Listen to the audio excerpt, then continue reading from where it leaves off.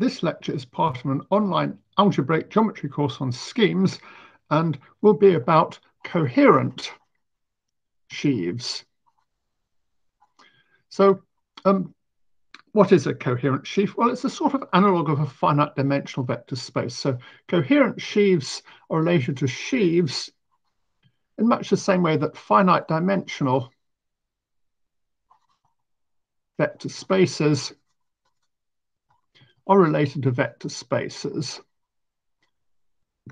They're, they're the sort of small sheaves in some sense. So let's first look at um, the case of modules over a ring. So we're going to look at coherent modules. And the first question is, what is a coherent module?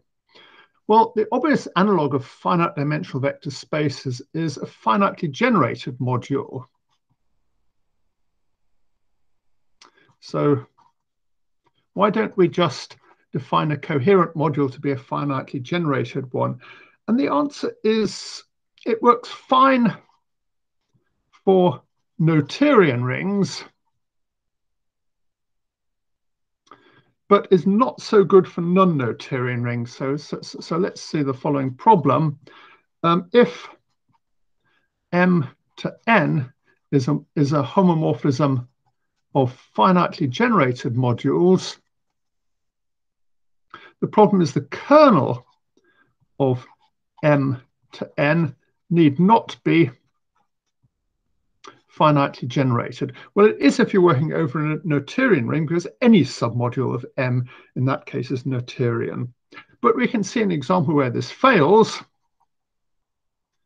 For non-Noetherian rings, you just take R to be the ring of polynomials in infinitely many variables.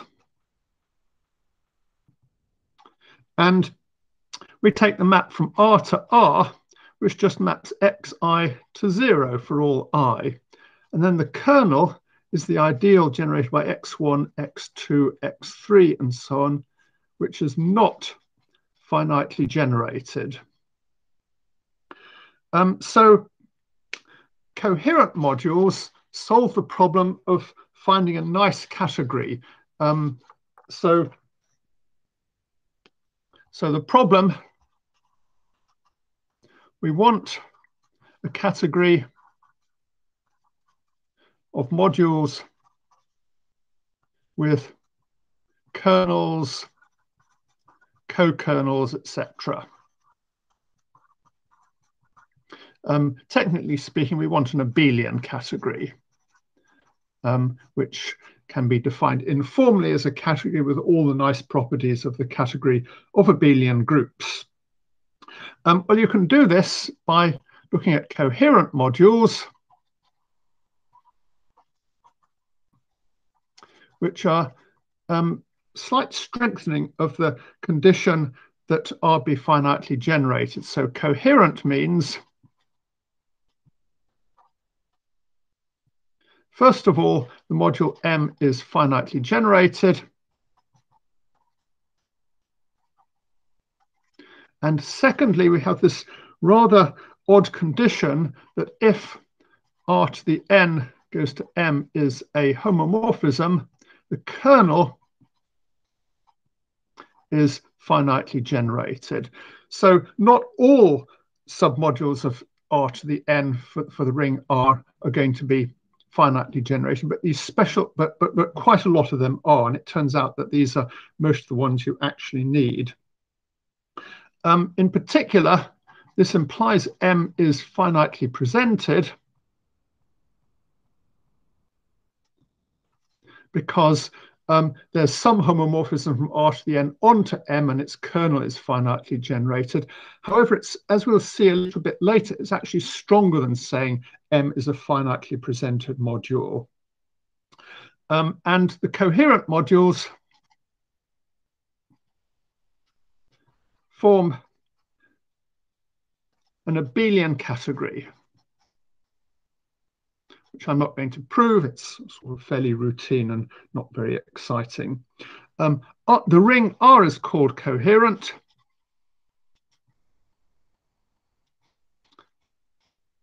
If R is a coherent R module. So it's like you say a ring R is noetherian if it's a noetherian R module. Um, for coherent rings, it turns out that coherent modules are the same as finitely presented ones. And for noetherian rings, it's pretty obvious that coherent modules are the same as finitely generated ones. Um, so let's just have a couple of examples um, to show um, some coherent rings that aren't noetherian. I'll just go through this fairly quickly because we're not really going to be using them. We're going to stick to noetherian rings most of the time. So if you take the field K, X1, X2, X3 in infinitely many generators, this is coherent as a ring, but not noetherian. Um, um, next, if we take the ring R to be K x1, x2 up to xn and quotient it out by um, all the variables x1, x, all the pairs x1, x2, x1, x3, and so on, then um, this is not coherent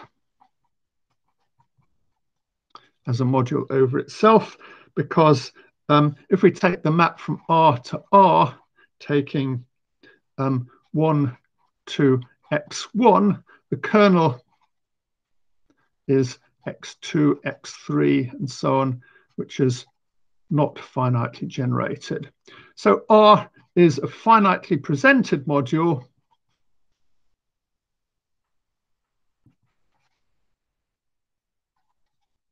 that is not coherent. So this is just an example of the sorts of things you have to worry about if you work with non-noetherian rings. Um, anyway, um, what we really want to do is discuss coherent sheaves, and I'll give a bit of a history to explain why people were worrying so much about um, non-noetherian objects. So coherent sheaves were first introduced for complex analytic manifolds.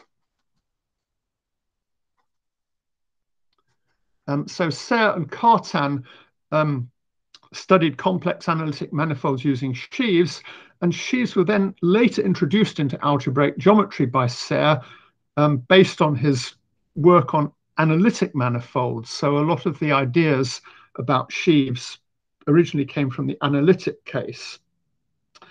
And um, um, the uh, problem is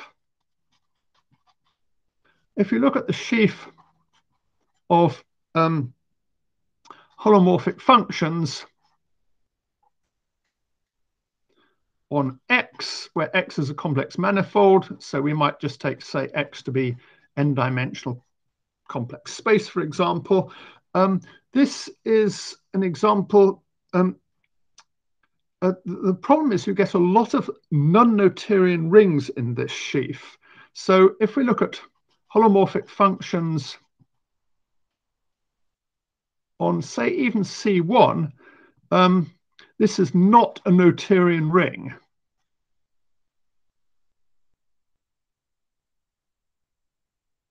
For example, let's take the ideal I is all functions vanishing on all but a finite number of integers. And then you can easily check that this is an ideal in the ring of holomorphic functions that isn't finitely generated. So the problem is if you're working with complex analytic manifolds, most of the rings you encounter are simply not noetherian and you need some substitute for it. And Oka discovered this um, fantastic substitute for it, which says that the sheaf of holomorphic functions on a complex manifold X is coherent. So what does coherent mean for sheaves? Um, well, um, I, I, guess just before explain what coherence means for sheaves, let me just point out that the, the, the, the, fact that rings of holomorphic functions are not coherent is a bit subtle because you've actually got three rings here. You've got the ring of polynomials, and polynomials are pretty close to holomorphic functions, and holomorphic functions are pretty similar to the rings of power series. And the ring of polynomials and the ring of power series are noetherian. And these are what you use if you're doing algebra. But the ring of holomorphic functions, which is what you're interested in if you're doing analysis, is not noetherian. So, um, so if you're an analyst, you tend to work with non-noetherian objects. Um, so what does coherence mean for sheaves? Well, um, let's take X, OX to be a ringed space. And here I'm not taking, and here I'm not assuming X is a scheme because the when X is a complex analytic manifold and these are the holomorphic functions, then this usually isn't a scheme. Um, so we might take, for ex example, X is just n-dimensional complex space and OX is the sheaf of holomorphic functions, which assigns to each open set the holomorphic functions on that open set. Then um, the, the definition of the sheaf F to be coherent is sort of a bit similar to the definition for rings. Um, first of all, F is of finite type. What this means is that X is covered by opens UI. So um, on each UI, we have OX to the NI um, maps onto, sorry, this restricted to UI, maps onto F restricted to UI. So it means locally, F is sort of finitely generated, that, that, that there's, that, that there's a map from n copies of holomorphic functions onto f. This ni may depend on ui and may actually be unbounded if you've got an infinite numbers of ui. So this is a slightly subtle concept. It means f is sort of locally finitely generated in some sense. And secondly, we have the coherence condition that the kernel of ox to the n on u to f on U is of finite type for all open U. And you can see these two conditions are very similar to the conditions for a module to be coherent. I think historically coherence was actually first defined for sheaves and then later um, defined for modules. So, so the definition was really rather roundabout. So in other words, not all subsheaves of this are of finite type, but the ones you're interested in are. Um, and um, as for rings, um, you can talk about the, the, the, the, the space, the sheaf of rings itself being coherent if it's coherent over itself as a, as a module over itself. So um, if OX is coherent, then F is coherent if and only if um, it's finitely presented. So we can find the sequence OX to the M goes to OX to the N goes to F goes to zero, which is exact. So this is just like saying F is a sort of quotient of two free sheaves. So it's like saying F is a finite, F is a, it's the analog for sheaves of saying that F is a finitely presented module. Um, here M and N are finite. And then this definition was extended to the case when M and N may be infinite. So F is called quasi-coherent if it's um, if we can find ox to the m goes to ox to the n goes to f goes to 0 for m n possibly infinite. Now you notice that for modules, this condition is completely vacuous because every module is the quotient of some possibly infinite free module by some other possibly infinitely generated free module. So, so quasi-coherence for modules over rings is a vacuous condition, but for sheaves it's non-trivial. Um, and then for affine schemes,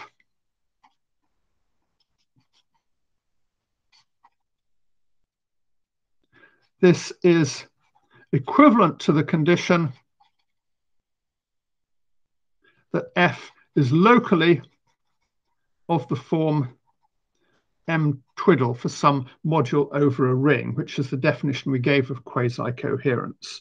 So that's why this condition has such a, a weird name of quasi-coherence. Quasi-coherence was originally defined as a reasonably sensible concept um, and was then applied to affine schemes, where for affine schemes, you know, th th this definition of quasi-coherence is rather roundabout. For affine schemes, there happens to be a much simpler definition, um, but um, for historical reasons, we're we're saddled with this with this adjective quasi-coherence because quasi-coherence was originally discovered for analytic manifolds when the definition is a bit weirder. Um, so that's the sort of history of why we, we ended up with such funny terminology, terminology for quasi-coherence. Um, Hartshorne defines coherence differently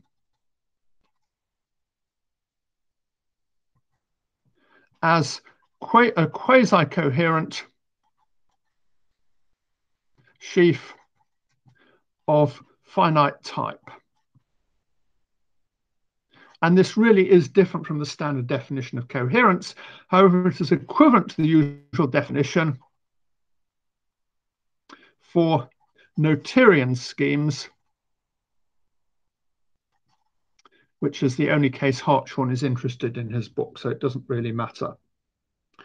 Um, for non Noetherian schemes, you shouldn't use Hartshorne's definition. As Hartshorne said, it behaves really badly, and you should use the standard definition of coherence. And similarly, if you're doing complex analytic spaces, you should use the standard definition and not Hartshorne's. Um, so um, coherent sheaves form an abelian category again, provided you use the correct definition for non-Noetherian schemes. So quasi-coherent sheaves are ones that, over a scheme, are ones that look locally like a manifold and coherent, sorry, that look locally like a module, and coherent sheaves are ones that look locally like a coherent module. And if you're a Noetherian person who only uses Noetherian rings and schemes, then coherent sheaves are ones that look locally like finitely generated modules. Um, so we can just have an example. The sheaves ON over P1 are coherent because P1 is covered by two affine sets, A1 and A1, and over each of these affine sets, the sheaf ON looks like a copy of the ring of regular functions, Kx. And Kx is a coherent module over Kx because Kx is, an, is a Noetherian ring. So locally, this is sheaf is coherent. And if a sheaf is coherent locally, then it's coherent. Um, so next, we have the following problem. Given a sheaf, given a, a coherent or quasi-coherent sheaf, is f star of f or f lower star of f coherent or quasi-coherent. And um, this is one of these questions which gets a little bit technical. So let's take F to be a map from X to Y, where X and Y are schemes. And F star is fairly easy to deal with. Um, so F star of a quasi-coherent sheaf is quasi-coherent. This is easy to prove and I'm not going to bother. And F upper star of a coherent sheaf is coherent if X is coherent. And again, I'm not going to bother proving this because it's fairly easy and not terribly interesting. Um, the, so, so F upper star is nothing very exciting happens. F lower star is a lot more subtle.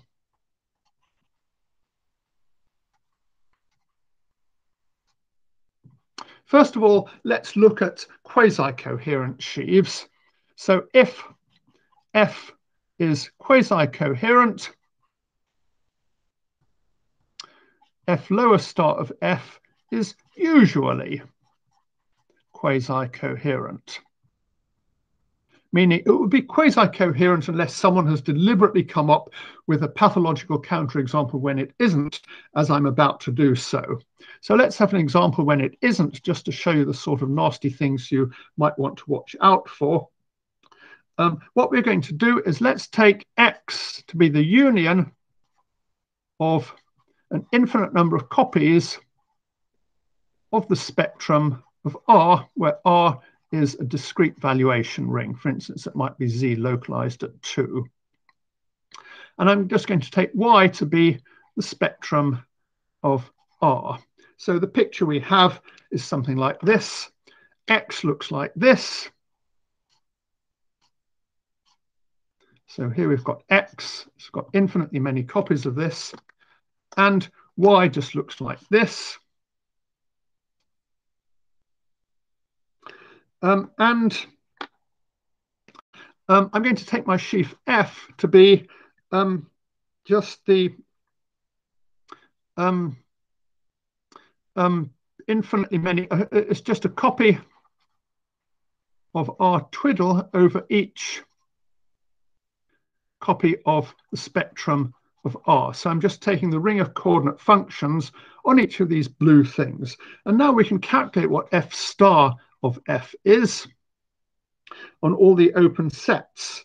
Um, so this is just two non-empty open sets. So um, on, um, so it's got the open set spectrum of K.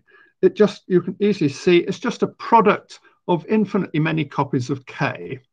So we just take a product over all n in n of k.